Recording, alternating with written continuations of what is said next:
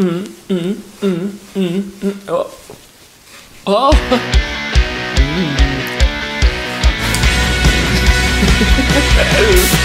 Hey banda, ¿qué tal? Yo soy Felipe Pastrana, explicatriz y sean ustedes bienvenidos a mi canal aquí en YouTube o en Facebook o en Torrent, donde hablamos de las cosas que nos interesan de la vida, donde todos los lunes se hace roja mi show en vivo para hablar de todas las cosas que nos interesan de la vida. Y sí, donde todos los jueves de la noche nos intentamos hacer poesía slam alrededor del tema de los Pokémon Shiny o Pokémon brillas para mí.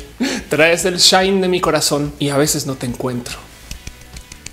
Este video fue editado por Elisa Sonrisas, la mejor transeditora del Internet. Chequen en redes sociales como Elisa Sonrisas. Déjenle un abrazo. En septiembre del año pasado tuvimos un gran momento para la cultura LGBT en México porque Gia Gunn, famosa performer de drag que aparece en RuPaul's y quien le encanta venir a México cuando puede. Y de paso también a quien entrevisté, entrevista que topan aquí mismo en este canal, se estaba presentando para hacer su show de drag y en algún momento decide detener el show para preguntarle a la gente, bueno, ya, ¿qué rola les canto? Bailo, ¿por qué no me sugieren algo en particular? Y pues dado que estaba en un ambiente de fiesta, que a la vez de paso sucedía alrededor del 15 de septiembre, alguien le comienza a gritar allí, no, no, no, tú por qué no nos pones algo así como de reggaetón, reggaetón, reggaetón y se voltea a Jagon y nos deja uno de estos bellísimos momentos de la historia J de México, porque agarra el micrófono y le dice a esa persona, Reggaetón, ¿cuál reggaetón? Hoy es el 15 de septiembre, maricón, respeta tu cultura. Motivo por el cual, dado que ahora estamos en junio, el mes del orgullo, decidí retomar este bellísimo momento que nos dejó Giagon y entonces extraer su energía y traerles a ustedes un pequeño repaso para que conozcamos nuestro orgullo, maricones y, mariconas y maricons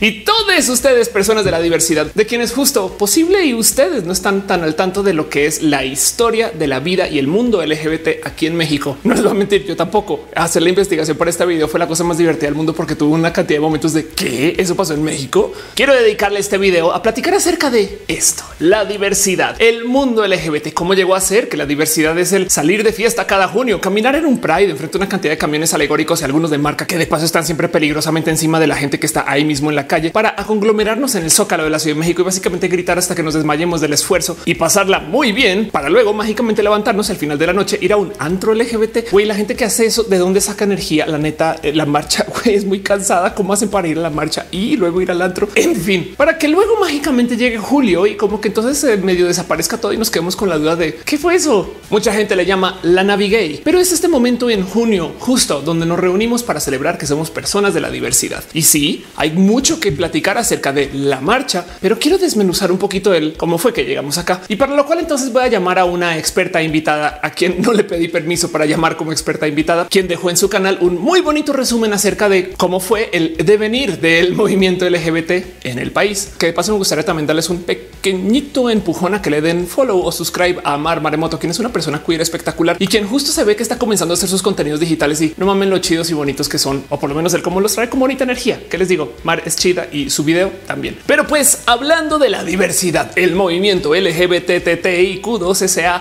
plus ese movimiento del cual nos enorgullecemos, del cual yo justo tengo una bandera acá atrás, una bandera acá, una bandera tatuada. Me he visto de bandera. Así tengo una bandera acá. Esto es de Charlie Gamers. De paso los vende. Hablen con Charlie. Charlie es bonita persona. CH Porto Carrero. En fin.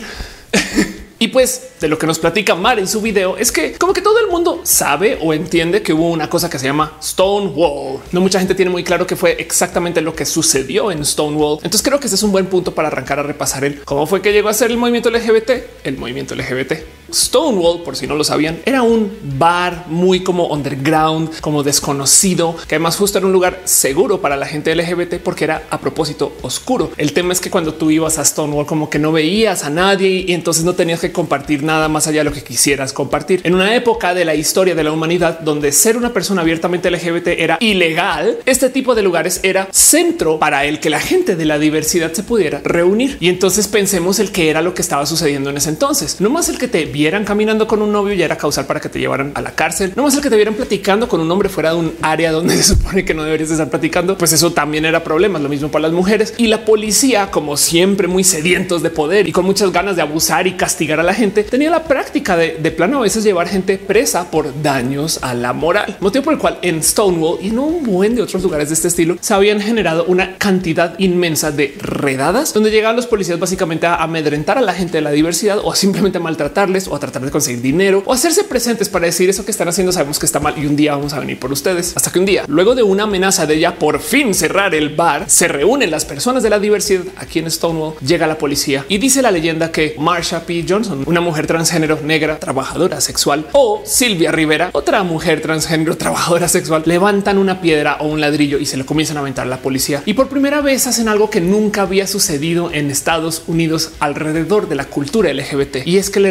respondieron a sus agresores públicamente. No dudo que había mucha gente LGBT que en algún momento también le dijo a alguien a alguien y le respondió y, se puso de cierto lado de su posición y defendió quién era. Pero aquí lo que estaba pasando es que se le dio inicio a la revuelta de Stonewall, a los disturbios de Stonewall, a la gran batalla cultural que también se volvió muy de calle. Entonces Stonewall no es un bello lugar donde la gente era muy feliz siendo gay y la gente comenzó a salir con arcoíris en las manos para correr por la calle y de repente gritar soy gay, soy gay, sino más bien Stonewall era el último lugar posible donde la gente de la diversidad se podía reunir y de ahí en el mero desespero y con ganas de ahora sí marcar una raya y decir perdón, pero no podemos no existir. Comienzan los disturbios. Fueron violentos, fueron agresivos. A lo largo de varios meses tuvieron presencia en varias ciudades y acabaron una gran demostración violenta en la calle, no más para decir aquí estamos y no nos podemos ir a ningún lugar. Acuérdense que en los 60 cuando no viajaba tan rápido la información gracias al Internet o cuando no teníamos básicamente este como acceso a todo esto que sucedía con la cultura de la diversidad, el mero comunicar que estos eventos han sucedido, pues básicamente era de por sí una tarea más cuando eres una persona de la diversidad y nadie te quiere apoyar con comunicar. Así que a lo largo del año, pasando estos eventos del 27 o 28 de junio, pues mucha gente se comenzó como a enterar de que esto era una realidad, motivo por el cual cuando llega el próximo junio en 1969, la gente decide salir a marchar en conmemoración de lo que sucedió en junio del año anterior. Y entonces eso viene a ser la primera, llamémosla así, marcha pacífica de la diversidad o la primera gran demostración de la cultura de la diversidad. Hay mucho que decir acerca de lo que realmente sucedió en Stonewall. Hay mucha gente que luego comenta de cómo se le dio el lugar de haber tirado la primera piedra a una persona como Marsha P. Johnson, quien de paso luego murió asesinada no mucho tiempo después de eso, con poco descuido para investigar qué fue lo que pasó. Pero lo importante aquí es que parte de lo bonito del no saber exactamente quién lo comenzó y cómo fue que sucedió es que también da chance de desconectarnos un poquito de tener héroes o heroínas acerca del movimiento de la diversidad, sino más bien permitir que varias personas sean quienes todos al tiempo comenzaron el movimiento de la diversidad, que parece bonito de considerar.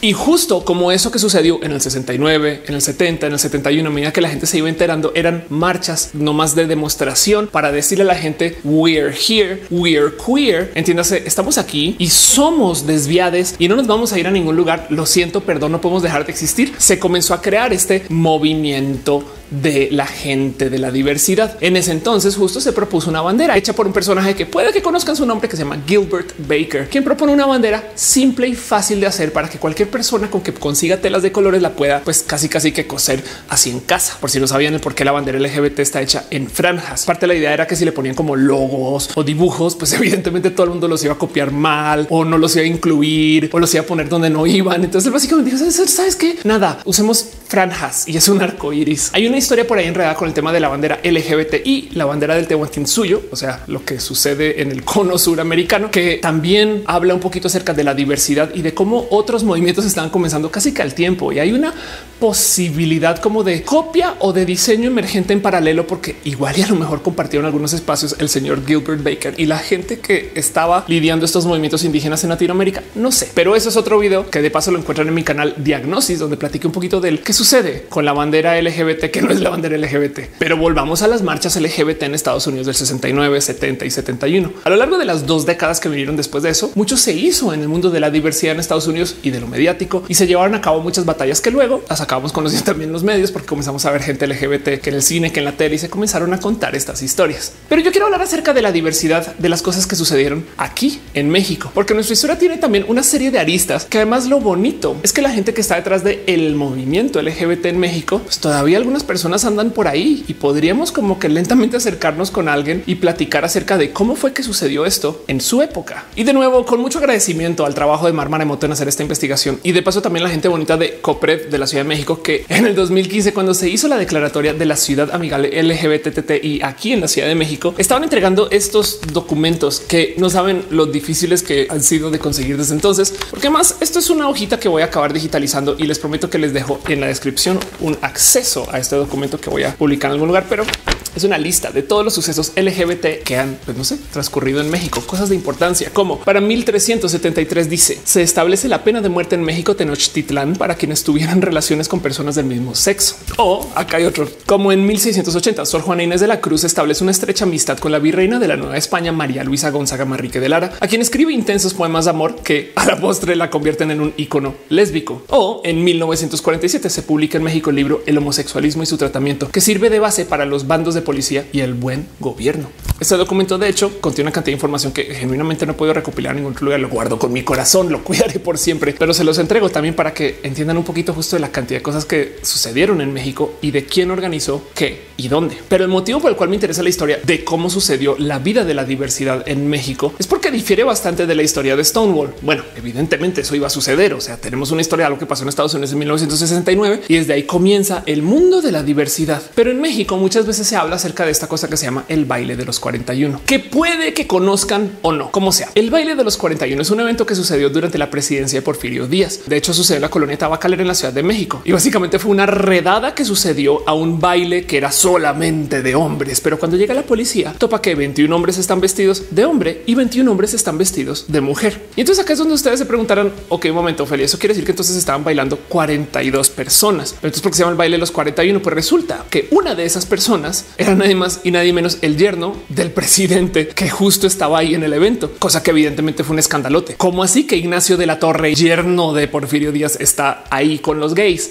Y pues obviamente desaparecieron su existencia del evento. Y no, no, no solamente fueron 41, no tienen por qué andar diciendo que eran 42. Para muchas personas en México, este fue el momento cuando comenzó el movimiento LGBT, porque primero que todo se visibilizó que hay gente que vive pues, de modos diversos. Segundo, acá fue cuando se comenzó a hablar acerca de cómo hay gente que podría no necesariamente ser parte de lo que creemos que es en cuanto a la política en general. De hecho, en el país, en México, solamente hay un monumento que hable de temas de la diversidad o que incluya a la gente LGBT y es justo una placa que está en la Alameda que recuenta la historia del baile de los 41. O sea, sí es muy importante tener esto en presencia. Por si no lo saben, estos 41 no solo es que los cacharon y los dejaron ir y fue el escándalo, sino que la verdad es que sí les fue un poquito de la chingada. Para ejecutar la redada aplicaron una muy amplia interpretación del vigente Código Penal de 1871, en el cual se sancionaban delitos contra la moral y las supuestas buenas costumbres. En ninguna disposición jurídica vigente se menciona lo que iba a ser la posible pena que se le iba a entregar a los detenidos. Pero lo que hicieron es que básicamente tiraron una cantidad de estas personas al bote y a otro grupo de personas, unas como 19 personas, las montaron a un tren y las mandaron a Progreso, Yucatán. Así que si ustedes viven en México y alguna vez han escuchado este cuento de cómo la gente gay no vino de Mérida, sino que llegó de la gran ciudad y fue importada, igual y sí. Como sea, el baile de los 41 es súper, súper importante para la historia de México, pero en mi corazoncito es doblemente importante por un motivo en particular. ¿Se acuerdan? Como yo les decía que Stonewall sucedió en 1969 y todo esto pues, de la bandera y la diversidad de los movimientos colapsaron como desde entonces para acá. ¿Saben cuándo fue el baile de los 41? En el año de 1901, 67 años antes de los disturbios de Stonewall y muy lejos de lo que estaba pasando en Estados Unidos. Pero acá tenías a estas personas LGBT quienes ya eran parte de la sociedad mexicana y quienes justo ahora están en los medios y en la cultura popular mexicana. Pensemos en eso. Para la gente que dice que el mundo LGBT es nuevo y que todo está de moda y ahora todo el mundo quiere ser gay y antes nadie era gay, por lo menos tenemos 100 años de disturbios, redadas y molestias generales a la sociedad causadas por la gente de la diversidad, porque estas personas no entienden que, pues perdón, pero si hay gente abiertamente LGBT o por lo menos culturalmente presentes como LGBT hace 100 años, pues implica que México se ha desarrollado por mucho tiempo con gente gay, lesbiana y en fin. Pero sigámosle el hilo a las historias LGBT de México y entonces tomemos en consideración de lo que sucedió como digamos que en la década después. De hecho, siendo todavía una falla a la moral pública el ser una persona abiertamente LGBT, comenzaron a llenar las cárceles con lugares con gente gay, básicamente. Si usted no vive en México, les explico, pero uno de los modos de decirle a la gente gay o LGBT en México es Joto, que es un raro nombre si lo piensan, pero viene de que alrededor de la época de 1910 muchas personas acababan presas en un lugar que se llama el Palacio de Lecumberri, un reclusorio de hace más de 100 años que pues aparte de tener espacios para gente con problemas mentales y de tener espacios para gente criminal, le dedicaron un ala entera para guardar a toda la gente gay y entonces metían ahí a todas las personas divergentes de género y a todas las disidencias, justo porque pues qué más hacías con estas personas siendo el ala J, el ala A, el ala B, el ala C, pues la ala J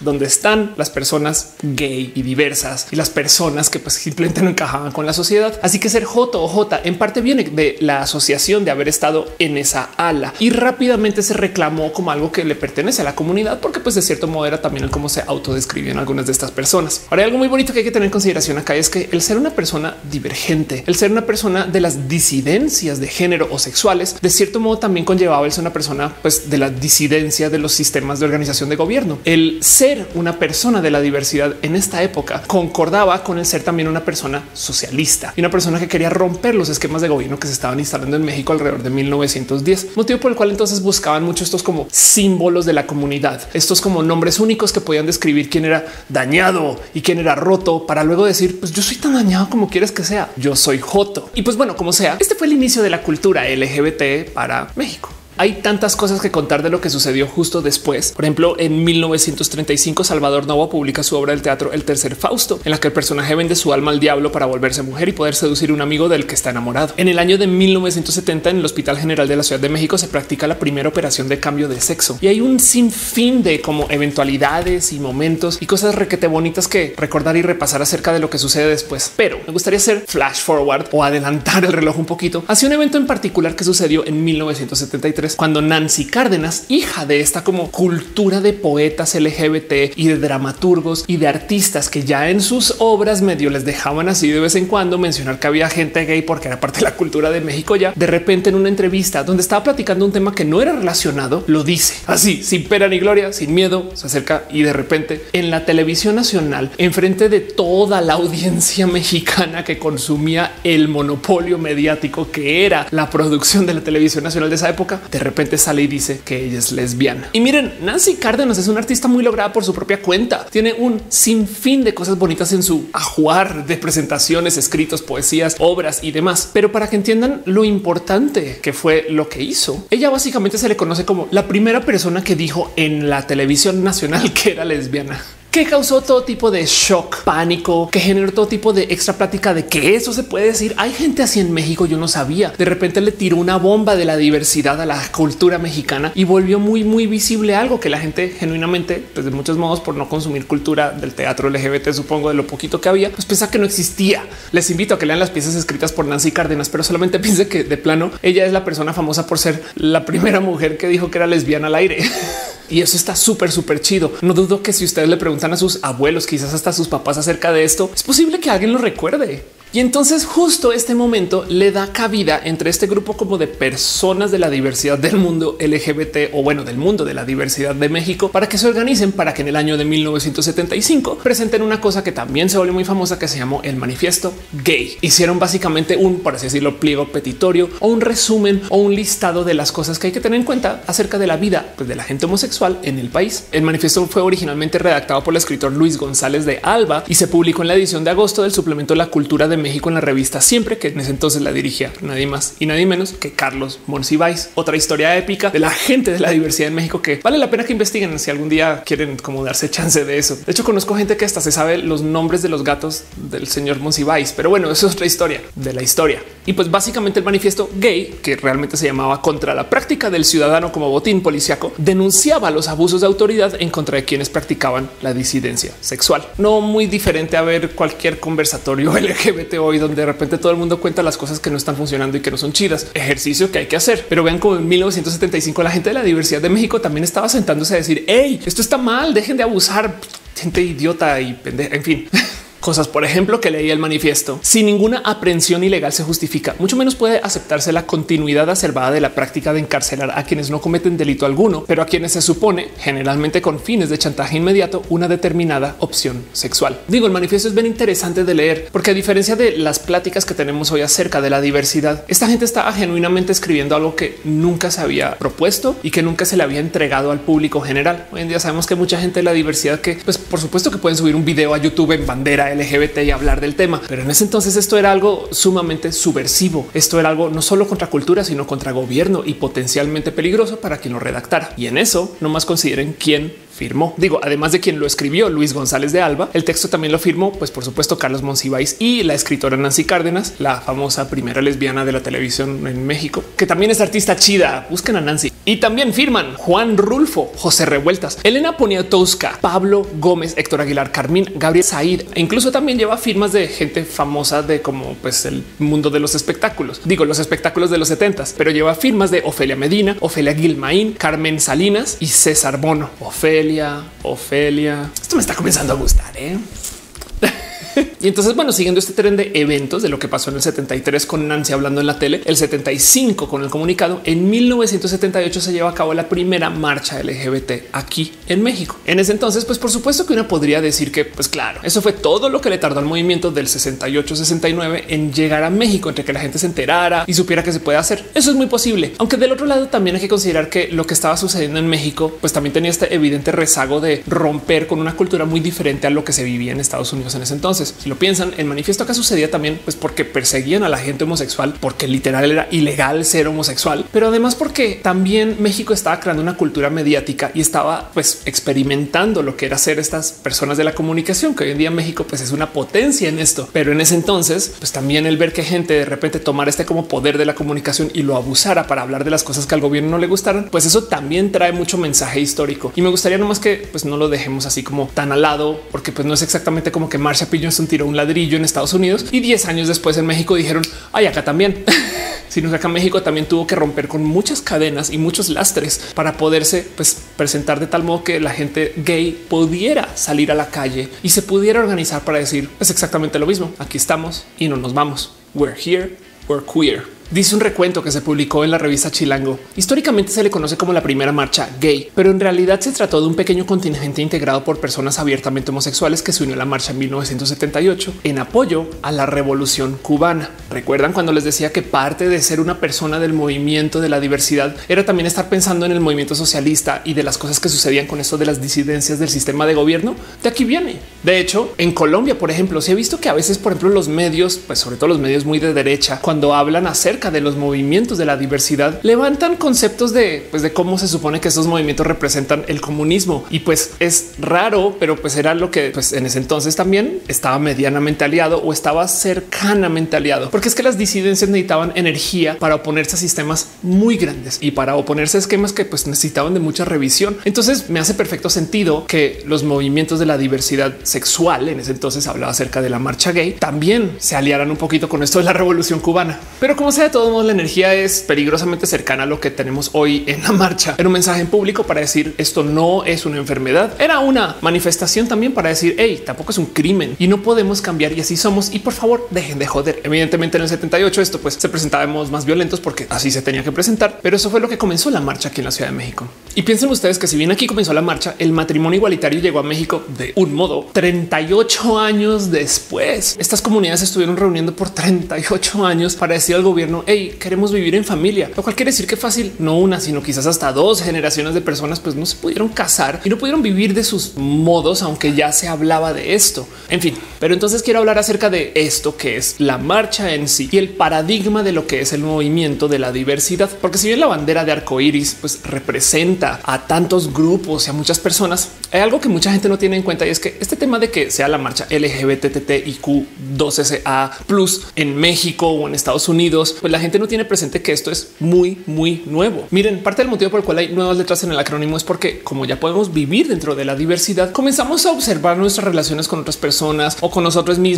y pues de cierto modo hay como que conectamos que a lo mejor lo nuestro no es exactamente lo que se describe con una letra, sino con otra. Y hay muchos términos emergentes para describirse a cada quien que se deben de permitir y que son nuevas expresiones de la diversidad que ahora se les da un nombre y que pues se desarrollarán sobre ese nombre o forma o grupo o lo que sea. Pero cuando comenzó, cuando a duras penas era un es que yo soy otro tipo de persona que lo normal, pues lo único que se decía era que tú eras gay. El momento de los disturbios de las cosas que sucedieron en Stonewall se dice hoy que comenzó por dos mujeres trans y que estaban en el trabajo sexual y que eran personas también pues de piel de color. Pero hay que tener en cuenta que la definición, el nombre de lo que es una persona trans no se usaba en ese entonces. Han visto como hay mucha gente hoy en día que vive como muy en pánico de cómo es posible que la gente pansexual viva al mismo tiempo que la gente bisexual. La gente pansexual es bifóbica. Están aquí para borrar a la gente bisexual. Y entonces la gente bisexual se pone a pelear de que como que existe otra definición para decir exactamente lo mismo cuando genuinamente pueden existir uno y dos. No le consta a la gente bisexual decirle a la gente pansexual como es ni viceversa de paso. Así que la discusión bisexual pansexual es una discusión que habla acerca un poquito más del cuidarrancherismo que de lo que es ser bisexual o lo que es pansexual. Pero traigo esta colación porque yo creo que muchas personas en la diversidad hemos vivido este momento donde alguien más, quien también es parte del movimiento LGBT, se voltea y nos dice tú no eres realmente lo que dices ser. No, tú no eres como que lo suficientemente lesbiana. Uy, eres como un gay de mentiras. Yo no sé si tú estás aquí para ocupar mi espacio y esas cosas que se dicen dentro de la comunidad. Y el tema es que yo creo que esto viene justo del como mucha gente no se ha desarrollado para entender bien lo que significa que la diversidad sea diversa, pero nomás para que vean qué tan presente está este de que la gente que no es como tú, pero que se alía contigo, pues técnicamente no está ahí para desplazarte. Les quiero invitar a que veamos una entrevista que se le hizo a Silvia Rivera, una de las heroínas de Stonewall, quien de paso, por si no sabían, después de Stonewall y los eventos que sucedieron, acabó desplazada y viviendo sin hogar y pues se fue a vivir a la calle y tuvo muchos años de estar en la calle. Para el momento que llegaron a grabar esta entrevista, también la entrevista completa, si algún día se pueden dar chance de verla, trae un poquito como de la tristeza de vean cómo la comunidad LGBT dejó a esta persona ahí tirada. Afortunadamente, después de esto, que fue como en los ochentas, le dieron muchos apoyos y ayuda a Silvia y pues hoy en día lleva una vida muy diferente a lo que se muestra en esa entrevista. Así que nomás les doy este prefacio para que entiendan que lo que se muestra aquí es una persona un poquito más rota de lo normal, porque se está tirando ladrillos en Stonewall. Tampoco es que viniera de un espacio así y requete re feliz. Me explico. El punto es que para que entiendan cómo siempre ha habido gente que le busca como rascarle al esta es mi comunidad, no es tu comunidad. Y si llega alguien y no es como yo, entonces a lo mejor me amenaza. Quiero que vean cómo habla Silvia acerca de lo que sucedió en Stonewall y de las lesbianas, porque resulta que una de las cosas que comenzaron a pasar luego de que pues, salieran a la calle a marchar las personas de las diversidades es que se acercaron los grupos de las mujeres lesbianas a decir, oye, yo también quiero ser parte de esto porque siento que tenemos una misión en común. O sea, somos mujeres homosexuales, ustedes son hombres homosexuales. A lo mejor la marcha es la misma, como le ven. Y entonces el movimiento en 1970 como al 75, quizás hasta los 80, si bien se le conocía como el movimiento gay, la marcha gay, la marcha homosexual, lentamente comenzó a migrar ya entrando a los 80 a hacer la marcha lésbico gay, la marcha LG. Y entonces sabiendo eso, vamos a ver a Silvia. Randy, you and I both know that when the Stonewall Rebellion started and the Stonewall riots started, there were no gay women who were arrested. And why lesbians have to be put in front of the word gay when we're all gay, then we might as well just start a whole new segment in our history and have everybody define drag queens. You know, it's everything is lesbian and gay. ¿Cómo se atreven a poner a la L enfrente de la G? Y justo Silvia dice, ay, pues ahora que me va a tocar andar diciendo que soy LG en vez de que soy gay. No, o sea, no, pues eso no está tan bien. Pero que les digo, es la gente de los 70 enfrentando que la diversidad es más diversa de lo que creen y siempre va a ser así. Nos va a pasar a nosotros. ¿eh? Lo digo porque además les quiero dar un poquito de contexto histórico en un mundo donde se hablaba de que la diversidad era hombres gay u hombres homosexuales. Ahora pensemos en lo raro que es que Nancy Cárdenas de repente diga soy lesbiana. El concepto concepto de ser una mujer que ama a otra mujer era extra raro porque ya se sabía por parte del movimiento homosexual que había hombres que aman hombres, pero tampoco estaba tan presente en la cultura popular que existieran mujeres que amaran mujeres. Y eso en un mundo que estaba debatiendo el divorcio, en un mundo que estaba enfrentándose a feministas de segunda ola, era violentamente subversivo, sobre todo desde lo cultural. Pero entonces ahora vámonos al año de 1995 para que entiendan que aquí, 20 años después de lo que yo les estaba explicando ahorita, de repente comienza a aparecer un nuevo grupo que se vuelve muy, muy, muy visible, que si bien ya tenía sus expresiones, si bien ya se discutía que de un modo u otro había gente así, en el 95, cuando salió Toy Story, ese mismo año aparece esta portada en la revista Newsweek, que de plano dice bisexual. No son gay, no son hetero, son algo más. Pensemos en esto. Digo, no quiere decir que aquí fue cuando comenzó la bisexualidad, pero entiendan que aquí fue cuando golpeó el mainstream. Aquí es cuando se volvió público. Aquí es cuando la gente dijo, ah, no mames, se puede ser gay y hetero a la vez. Wow, cómo funciona eso? 1995 para mis recuerdos fue ayer. Igual y ustedes son más jóvenes que eso o igual y tienen más años que lo que existe el concepto de la bisexualidad, como es mi caso. Pero piensen que del 73 o 75, 78 al 95 hay 20 años enteros donde no se hablaba, por lo menos públicamente, de cómo había gente que podía ser al mismo tiempo homosexual o heterosexual o ninguna de las dos. La bandera bisexual que tanto queremos y amamos se hizo en 1998. Miren, hoy en día nuestro movimiento es una fiesta, un carnaval y tiene una cantidad de cosas muy bonitas que le podremos compartir luego a nuestros familiares o a la gente que nos rodea. Pero quiero que entiendan que entrando a los noventas, México traía una cultura rezago de aceptar a la gente de la diversidad. El libro muy bonito que compila las portadas del alarma, que básicamente pues, es un periódico shock que trataba como de comunicar a la gente lo que era ser una persona de la diversidad sexual. Y pues vean nomás cómo nos describían en ese entonces. Si hoy en día tenemos un show de dragas en México y si hoy en día tenemos toda esta diversidad y cultura en YouTube, piensen ustedes que en el 70 cuando estas personas están escribiendo el manifiesto gay o en los 80 cuando están tratando de comunicar lo que era ser una persona LGBT en el teatro, se manejaban portadas o cosas así. Mujercitos querían ser señorita Orizaba. Los toscotes gendarmotes suspendieron la ay, epidemia de desviados Mujercitos a la moda usan pantaloncitos calientes. Luego tú ves todas estas portadas y artículos de la alarma y como que tengo un poquito de por qué estabas tan obsesionado, señor Don Alarma, con la gente LGBT. Tú que hay una historia que igual no nos contaron. No ocultan sus vicios. Ser mujeres es su ilusión como me gusta ser orgullosamente mujercita. Esa cultura, evidentemente, en los noventas, cuando se comienza a hablar acerca de la bisexualidad, pues tampoco estaba como que tan rota y tan deshecha. Por supuesto que si alguien se crió leyendo estas cosas para el 95, cuando ya se hablaba de la gran apertura de las diversidades, obviamente todavía hay mucha gente que trae esos pensares, pero de haberlo leído cinco años antes o tres años antes, o de que sus papás lo leían en los 70s o en los 80s. De nuevo, los grandes como cambios de la vida de la diversidad, las leyes, todo esto que ya hoy como que celebramos que Ay, ya está aquí por fin, acaba de llegar. Si conocen a alguien que sea activista o alguien que haya sido parte de la comunidad LGBT desde hace mucho tiempo, porque están esas historias en familia, me explico. Piensen ustedes que esas personas casi que toda su vida hasta ahorita simplemente pensaron que ser LGBT era algo que no se podía decir. También quizás por eso están tan sacados de pedo que de repente todo cambió en literal como 10 años. Hablemos un poquito acerca del ser trans. Mi vida de hoy gira en torno al explicarle a la gente lo que es ser transgénero y que la disforia de género y que las transiciones y demás. ¿Saben cuándo se presentó la bandera trans, la famosa bandera trans que llevamos a tantos lados y que la reconocemos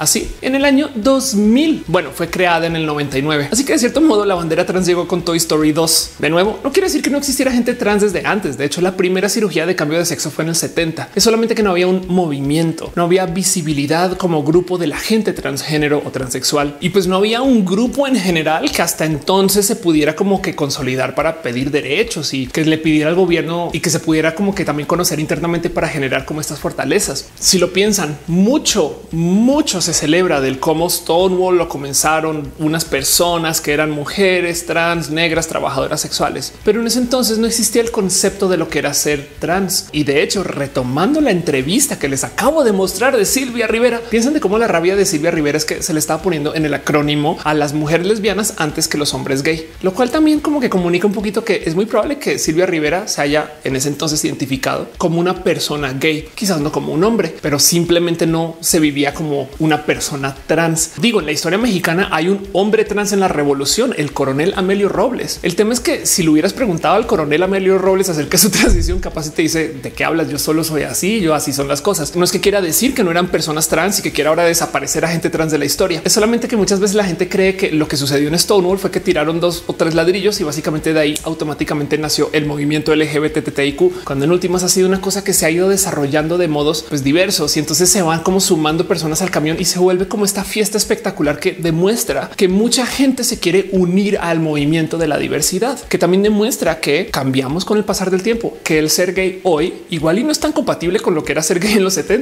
pero de todos modos pues es ser gay y que además va a seguir mutando y cambiando, porque todo esto como es un movimiento civil, como es organizado por gente que pues genuinamente está discutiendo todo desde la autogestión. Entonces por supuesto que no se va a mantener consistente y además que muchas cosas se van a mover y cambiar. Por supuesto que nos van a sumar banderas añadir colores y que van a cambiar logos y formas. Y por supuesto que esto simplemente va a seguir siendo acerca de la diversidad en sí y de cómo hay gente que está en contra de la diversidad. Oigan, si saben que hay gente intersexual en el mundo, no? Y que la definición de ser una persona intersexual pues varía según el cómo quieran interpretar ustedes la genética o las decisiones de cuerpo y demás. Pues el movimiento intersexual, la bandera intersexual existe desde el 2013. O sea, cuando comenzó Twitter, cuando comenzó Facebook, no había un movimiento consolidado de la gente de la I. LGBTTI comenzó después de lo que comenzó Facebook.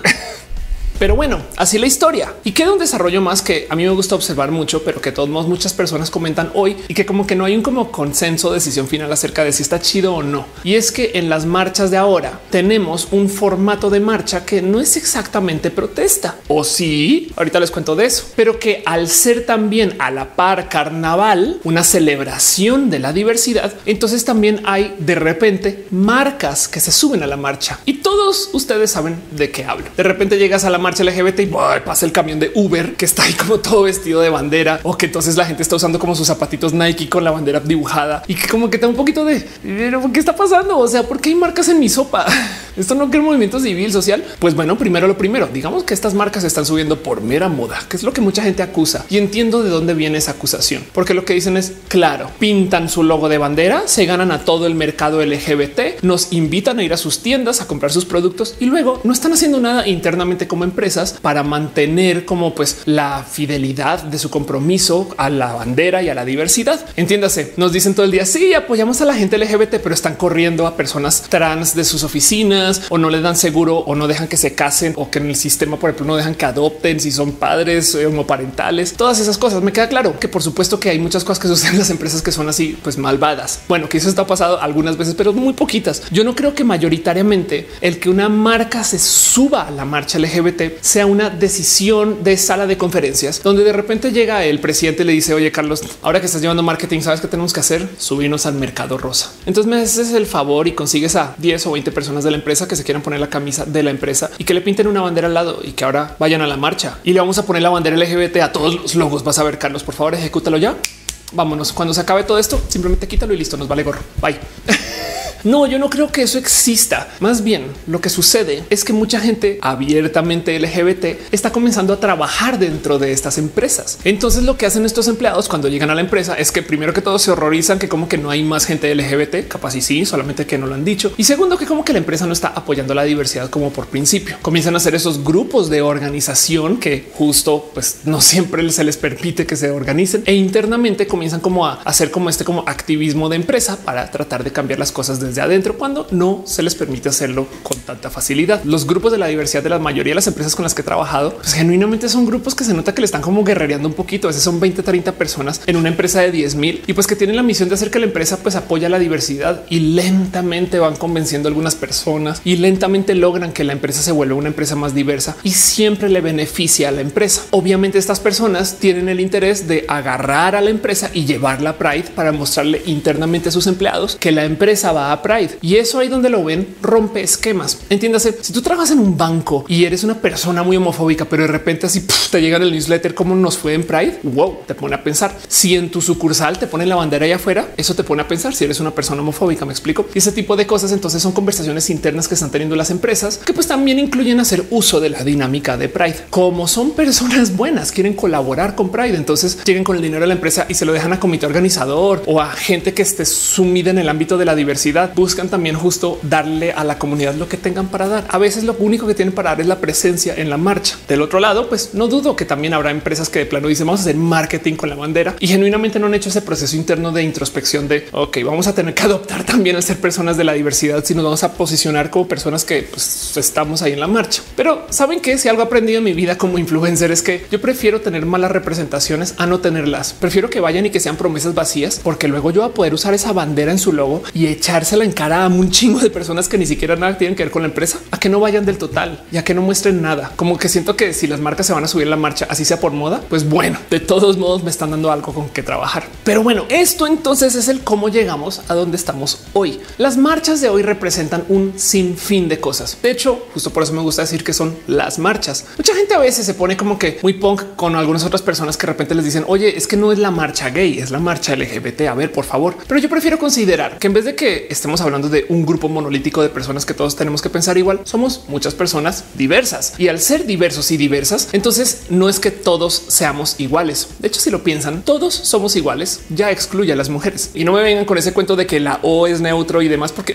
no sería todos, todas o por lo menos todos somos iguales. El punto es que no es que todos seamos iguales, somos muchos grupos e intereses que salimos a marchar el mismo día porque compartimos un deseo, el de vivir la diversidad. Y dentro de eso, pues también tenemos que comunicar que hay gente que está en contra de la diversidad porque motivos generalmente odiantes. Y luego de ahí para abajo, pues cada grupo tiene sus motivos específicos o necesidades que a veces esas necesidades ni siquiera tienen nada que ver con pedirle cosas al gobierno, sino es mero sentirse en comunidad. Oigan, hay gente que viene a la marcha porque solo en la marcha pueden ser y entonces ese lugar es muy especial para esas personas. Sabían que hay gente que se trasviste en la marcha, o sea que llegan y como que suben una toalla y pues se cambian ahí de abajo y listo y vámonos y así es como le va a marchar. Sabían que hay gente que genuinamente sale del closet en la marcha porque pues, nadie les va a ver dentro de la manada de personas. Todo eso se debe de permitir. Pero entonces, por supuesto que sí es la marcha gay, pero también es la marcha lésbica, pero también es la marcha trans. Y saben que están pasando todas al tiempo. Y ni siquiera es que sea una marcha por letra. También podemos comenzar a pensar en combinatorias. Es la marcha lésbico gay, es la marcha gay transgénero, es la marcha intersexual bisexual, es la marcha pansexual asexual aliada. Y entonces se suman las letras y hay tantas combinaciones que lo que tenemos es un sinfín de marchas tan diverso como la diversidad en sí. Es mejor considerar a la gente de las poblaciones LGBT como grupos por aparte que colindamos y que nos maravillamos en nuestras diferencias y nos apoyamos por ser personas diferentes que entendernos como una gran comunidad donde tenemos que actuar de un modo específico. De hecho, no sé si ustedes lo sabían, pero tan diversas son las personas de la diversidad que los intereses de la diversidad, por supuesto que también son muy variados. Suena redundante de decir, pero ¿saben cómo se organiza una marcha en la Ciudad de México, por ejemplo? Mucha gente jura que el gobierno tiene un comité designado por el gobierno por el cual alguien quizás votó o algo así y esas personas son quienes deciden qué va a suceder y dónde van a estar los camiones y dónde van a salir. Otras personas piensan que es una empresa organizadora de eventos profesional que se le da dinero y tú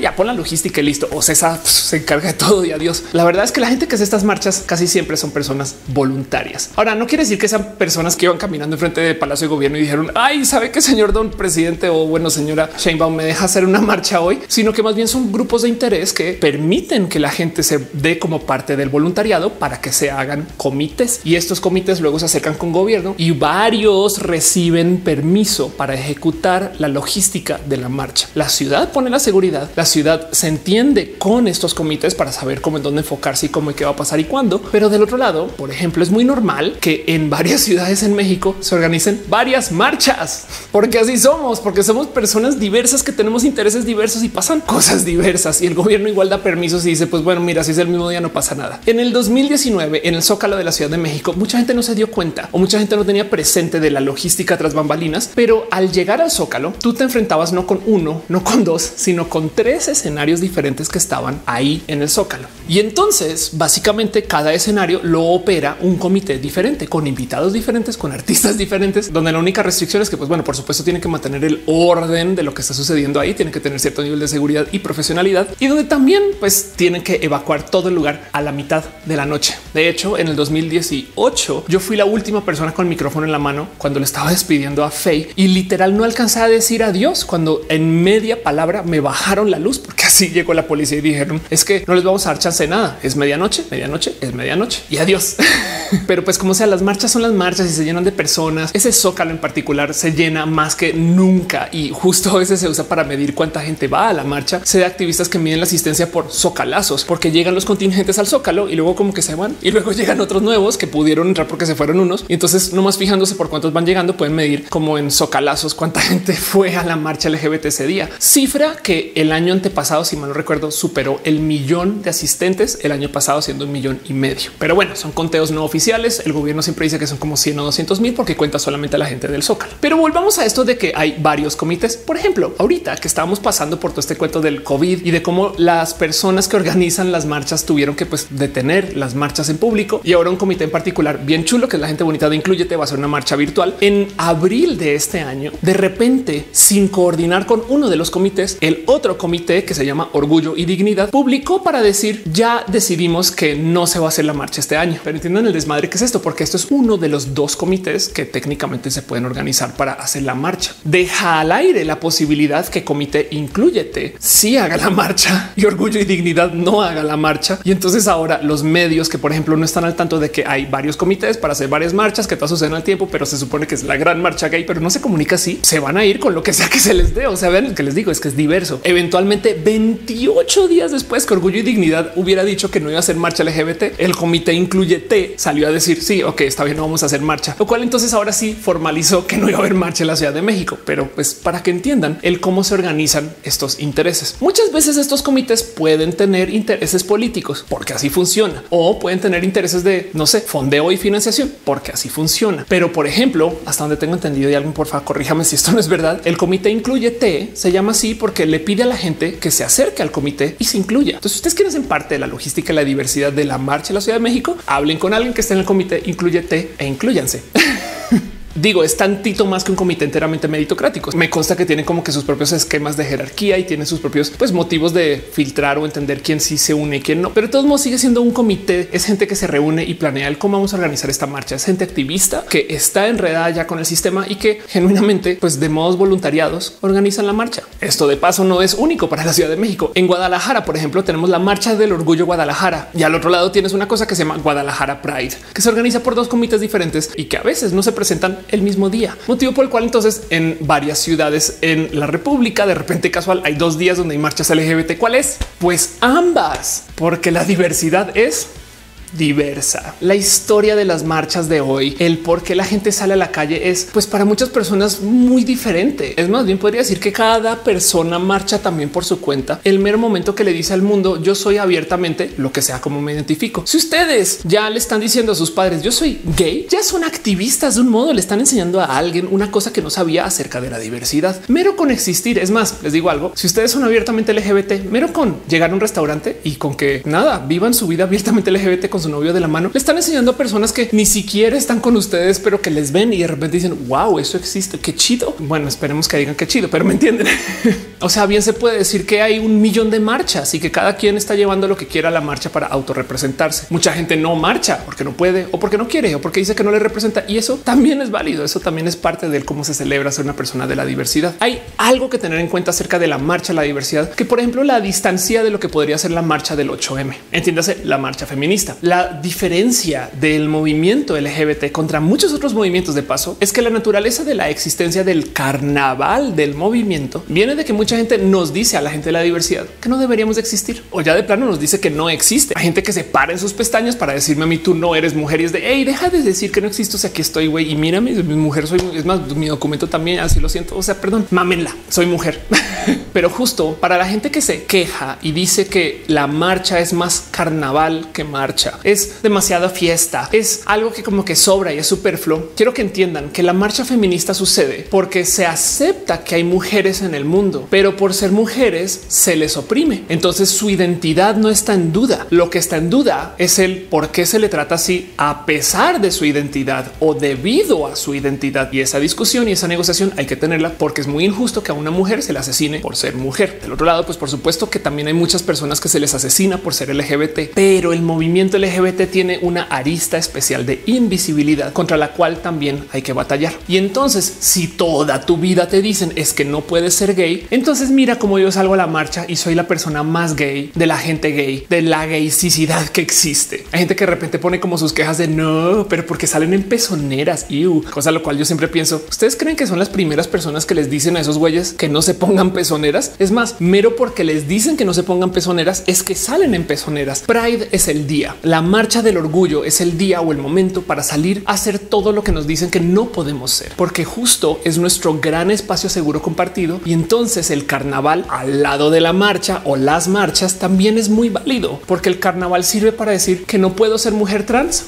Mírame Y no solo mírame, sino mírame bailando y mírame aquí en espuma y mírame con todas mis otras cuatas y mírame en este océano de alegría y felicidad y mírame que yo sí existo y lo celebro en este carnaval que se hace hoy 27 de junio o fechas asociadas según su ciudad. Y pues obviamente que el aspecto político también existe. ¿Sabían que todas las marchas tienen un pliego petitorio? Se le acerca al gobierno una lista de pedidos de güey, por esto estamos marchando, sépanlo. Eso es parte del trabajo de los comités, eso siempre sucede y también es parte de la celebración. El carnaval, por así decir, es otro modo de marchar y tanto como la marcha política, tanto como la marcha de la demostración que podría ser hasta potencialmente violenta para que la gente se entere que aquí estas personas de la diversidad no van a retroceder su posición porque es que no se puede y a la vez está la fiesta y el baile. Todos esos son modos diversos de marchar porque la diversidad es completa la frase. Así que teniendo eso presente, este pequeño como repaso de la historia de las marchas LGBT y cómo sucedió esto aquí en México, ahora nomás quisiera hacer una lista inconclusa de las cosas por las cuales yo creo que vale la pena marchar o salir a la calle o expresarse o alzar la voz o mero comentarle a las otras personas acerca de nuestra existencia. Porque si no hablamos nosotros de este tema, entonces quién? Y el primero y el más presente en México es la seguridad. Se supone que esos años iban a ser años muy bondadosos para la comunidad LGBT porque por primera vez tenemos políticos abiertamente LGBT en gobierno, pero algo pasó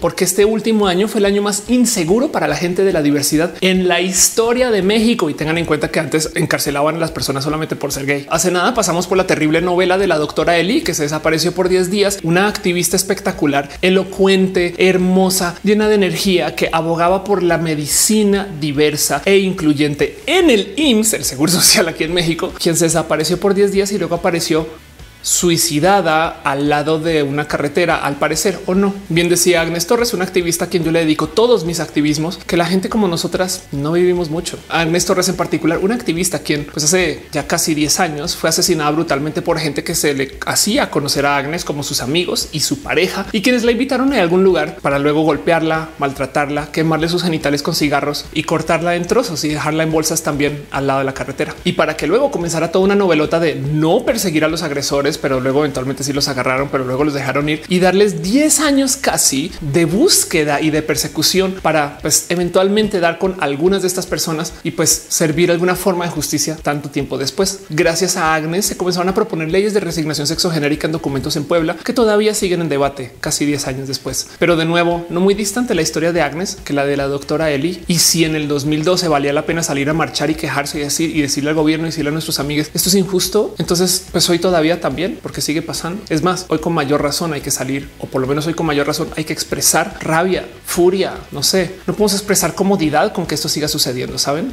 Pero bueno, seguramente mucha gente dirá, pero pues también todo el mundo tiene un problema de la inseguridad. Es verdad, solamente que las historias LGBT no suelen levantar mucha empatía. De hecho, con el caso de la doctora Lee, que fue una persona espectacularmente bella y que resultó siendo asesinada o que se suicidó, todavía levantó en redes sociales comentarios de personas diciendo, pues por supuesto que no le iban a hacer nada ni ayudar. Si es un hombre de verdad, no una mujer y es de hey, es una mujer trans que fue brutalmente asesinada. Ya bájenle dos segundos a su odio, por favor. Ya no le pueden hacer más. Pero bueno, otro tema presente por el cual hay que tener tantita presencia política es México consistentemente a lo largo del último año no ha hecho más sino desarmar las poquititas instituciones que tiene para defender los derechos humanos. La CNDH, la Comisión Nacional de los Derechos Humanos, pues básicamente implosionó y ahorita tiene pues como que a nadie al control o sí, pero no, pues básicamente no está funcionando como debería estar funcionando. Y digo, nomás es la Comisión Nacional de los Derechos Humanos. Luego hace una semana tuvimos un evento donde el presidente casualmente descubrió de la existencia de una institución que es nada más y nada menos que el Consejo Nacional para Prevenir la Discriminación, el 21 espacio que existe para que tú puedas levantar una queja. Hey, si tú vives en Hermosillo y te discriminan en un bar, absolutamente nadie se va a preocupar por ti, menos quizás, quizás la CONAPRED. Hay un sinfín de historias súper bonitas acerca de cómo la CONAPRED ha ayudado a tantas personas, de cómo la CONAPRED le ha dado acceso a la educación o le ha dado acceso a una vida medianamente más digna a un grupo inmenso de personas que viven en esta vida que es la vida de la diversidad. A veces no tienen que hacer nada, simplemente tienen que hacer una carta amenazando de que algo van a hacer para que luego esa persona pueda ir con su escuela o con su espacio de trabajo y decirle, mira, esta comisión, que es una comisión federal, pues ya sabe de lo que estás haciendo. Y entonces eso solito ya suaviza las cosas. Con Apret se le buscó desarmar porque era una institución que básicamente estaba haciendo muy poco, que igual y capaz y sí, aunque el último año de Conapred ha estado bajo control de una persona que el mismísimo presidente puso ahí, como para que luego la desarmen. Me da mucho miedo que nos quiten las poquitas instituciones que hay que abogan a favor de los derechos humanos, porque luego volver volverlas a poner va a ser difícil. Piensen en eso. Son los poquitos lugares que hay y lo peligroso que puede ser que simplemente las quiten, porque si bien quedan otros espacios que supuestamente se van a encargar de cuidar y velar por las personas de la diversidad, como no son espacios dedicados y enfocados a la gente de la diversidad, les súper prometo que el estándar de cuidado se va a ir a piso. Y cuando tú eres una persona de la diversidad que tienes tan poquito, esto puede impactar e impactar muy rudo. Y este es otro motivo por el cual vale la pena salir a quejar o comentar o opinar o tomar una postura política o comentarle a la gente, oigan, esto no se debería de hacer así. Desde lo personal, yo siento que la CONAPRED se debería de fortalecer, se le debería de reinvertir y a lo mejor se le debería de reformar y trabajar para que sea una institución independiente que pueda operar velando por los derechos humanos de la gente, pues por lo menos aquí en el país.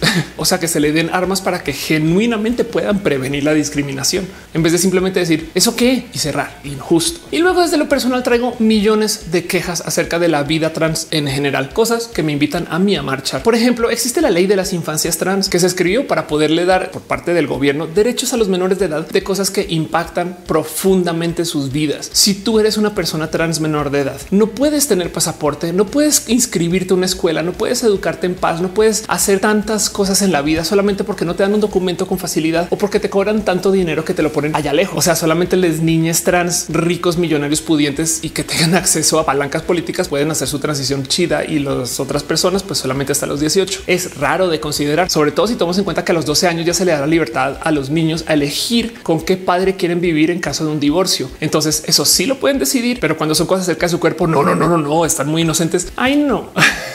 pero bueno, el caso, la ley de infancias trans está mágicamente detenida en la congeladora y siento yo que no más levantar el tema y platicar del tema, pues ojalá y le dé más vuelo y más vida, porque sí sería chido que se le extendiera este como pues acceso que hay a la vida trans en la Ciudad de México, pues también a la gente menor de edad. Pero bueno, el caso es si ustedes creen que la diversidad es lo que tenemos hoy y que siempre va a ser así, les tengo otros datos. Por ejemplo, si ustedes están preocupados, preocupadas por la discusión que entre la gente bisexual y pansexual, déjenme decirles que también existe la omnisexualidad y la polisexualidad. Momento en el cual mucha gente se preguntará, a ver, un momento, omni no quiere decir como universal y pan no quiere decir universal también. Y no se supone que la bisexualidad incluye todo el espacio universal de género. Entonces, como que hay tres palabras diferentes para describir lo mismo? Y la verdad es que no, pero les invito a que se den una buscadita para entender las diferencias que hay entre bi, pan, poli y omni y vienen más. En los próximos 20 años capaz llegan muchas letras más al acrónimo y eso está bien. Eso quiere decir que estamos viendo más la diversidad, que nos estamos dando más espacios chidos para celebrar las personas que somos, que podemos convivir de tal modo que le podemos dar nombre a cosas muy mínimas y que encima de esas cosas muy mínimas, pues capaz y representan grandes cambios de cultura y sociedad. Y eso nos va a llevar a, no sé, integrarnos un poquito más como personas de un modo u otro, créanlo o no. Miren, los meros avances de la sociedad nos hacen personas más diversas. Consideren ustedes que hoy en día hay muchas personas trans, no solo porque tenemos el acceso a la información gracias a Internet, un avance de la ciencia, sino que también tenemos el acceso a los procesos médicos para la gente que transicionamos hormonalmente y estas cosas.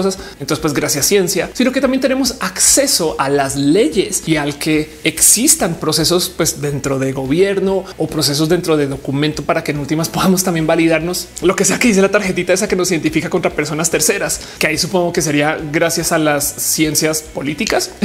y ya saben ustedes que cada año hay más ciencias y más estudios y más equipos y más software y más hardware y más desarrollo. Pues por supuesto que entonces vamos a tener mucha más ciencia de la medicina que va a cambiar lo que es la naturaleza de ser una persona, que de todo lo que se nos asigna al nacer es posible que absolutamente nada sea obligatorio a lo largo de la vida. Uno de los avances, por ejemplo, que viene, yo creo que muy pronto, es que dado que ya tenemos esta ciencia del trasplante de útero, ya existe el cómo, por lo menos desde la ciencia, tener a mujeres transgénero como yo pasando por embarazos. Entiéndase, el embarazo de las mujeres trans asignadas hombres al nacer es una realidad. Y entonces la pregunta no es de si se puede, sino de cuándo se va a dar esto en los medios. Y eso va a ser otro rubro de la diversidad, porque de paso hoy en día muchos hombres trans están pasando por embarazos y entonces son hombres que están dando a luz y al ser hombres quienes están llevando el bebé, pues despierta muchas dudas acerca, por ejemplo, de lo que tenemos de leyes y prácticas de la parentalidad. Y entonces cómo se hace si en la empresa no se le da al papá tanto tiempo como a la mamá y todas esas cosas que también tenemos que considerar y que a lo mejor nos cambia el lenguaje y que nos cambia el cómo nos relacionamos con la gente o cómo entendemos lo que es ser hombre y lo que es ser mujer, que todo eso son muestras y señas de lo sofisticada que va a llegar a ser la diversidad. Y eso es lo que estamos viendo ahorita a 20 años de distancia, digamos. Imagínense lo que ha de ser llevar la información de lo que es la marcha LGBT de hoy a la gente que estuvo en Stonewall hace ya 50 años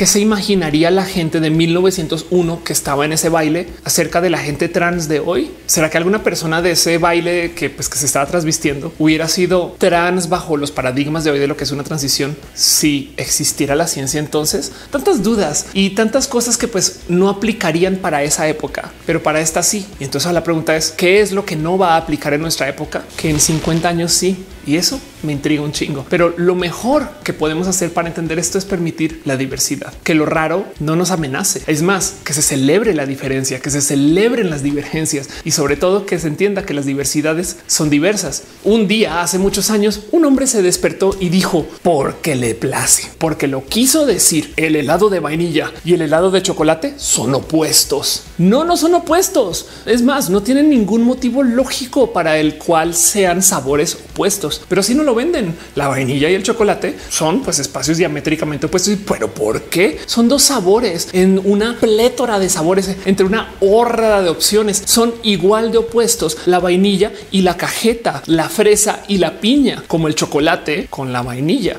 Saben, la diversidad implica no tener jerarquías de oposición, sino simplemente tener espacios diversos. La vainilla y el chocolate son sabores diversos. ¿Es uno mejor que otro? Pues bueno, eso depende de su gusto, pero amenaza la existencia de uno, el que exista el otro. Imagínense andar por la vida diciendo, uy, es que, pero es que desde que hay vainilla están invadiendo el espacio del sabor chocolate y eso no se puede, ¿no? o sea, no, más no simplemente considerar que es un modo diverso de saborizar el helado y pues que así deberíamos también de permitir que se viva. El matrimonio igualitario no solamente es igualitario porque esté permitiendo que dos hombres se casen y dos mujeres se casen tanto como un hombre y mujer se pueden casar la idea del matrimonio en su base estructural. Yo sé que la gran mayoría de la gente no se casa bajo este ritual, llevándolo así con este sentir. Seguramente alguien sí, pero el diseño del matrimonio es la entrega de la niña que le pertenece a un padre a su próximo dueño. Se llama matrimonio porque es la unión de madre, la mater con el patrimonio. Entonces la niña pasa a ser parte del patrimonio y por eso es el matrimonio. Así que para las personas fundamentalistas que defienden la definición del matrimonio como como entre hombre y mujer. Y esto es una cosa que me dijo una vez una persona del ámbito religioso en un debate, en una discusión, una pelea, es que el matrimonio no está diseñado para que sea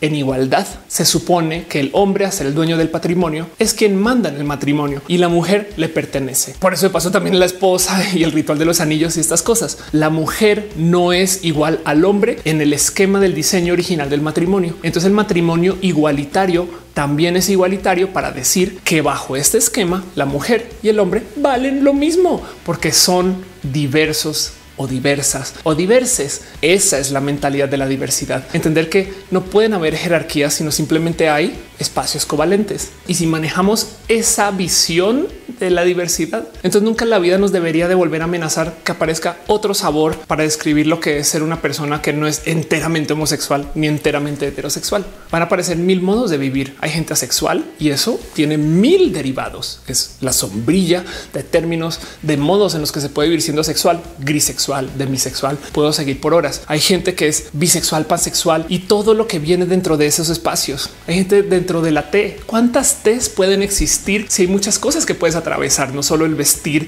el género y el sexo? Pues la diversidad justo nos va a perseguir por mucho tiempo. Y por eso salimos a marchar, porque hay que celebrar este modo de pensar. Y eso es lo más bonito de lo que se nos propuso por nuestros héroes o heroínas o gente que comenzó con este movimiento, que básicamente lo que comenzaron a hacer es decirle a toda la gente, piensen por su propia cuenta, que nadie les diga cómo ser. Y eso es una expresión subversiva del cómo vivir en un mundo donde se supone que tú tienes que encajar dentro de una realidad moral impuesta por una iglesia que sabemos que no es verdad. Pero bueno, les voy a contar una historia, pero van a necesitar hacer uso de mi material didáctico que traigo puesto, porque la bandera que tengo acá atrás, como está grandota, no se ven todos los colores bien. Ese morado del fondo ya se ve todo oscurito porque no está iluminado. Pero una vez hace unos ayeres, una persona activista se acercó conmigo y me contó la historia de la bandera LGBT. Esta historia puede ser completamente falsa y fabricada, pero es tan bonita que yo todavía la repito y la vivo y la considero parte del por qué me gusta tanto la bandera del arco iris. La bandera del arco iris ha cambiado mucho a lo largo del tiempo, pero en últimas lo que tenemos hoy es una bandera de seis franjas que comienza con el rojo y acaba con el morado púrpura y que tiene tiene muchos significados. De hecho, cada franja tiene un significado en particular. Ahora sabemos que el señor Baker hizo esta bandera así para que sea fácil de hacer. Así tú fueras una persona que vivieras en la Patagonia o en San Francisco o en Rusia, pues pudieras agarrar como que telas y coserlas y listo, salió una bandera, vámonos. Y también cada color tiene un significado en particular. Pero esta historia me gusta mucho porque yo creo que lo más bonito del movimiento de la diversidad, por lo menos para mí, es como esta cosa te libera.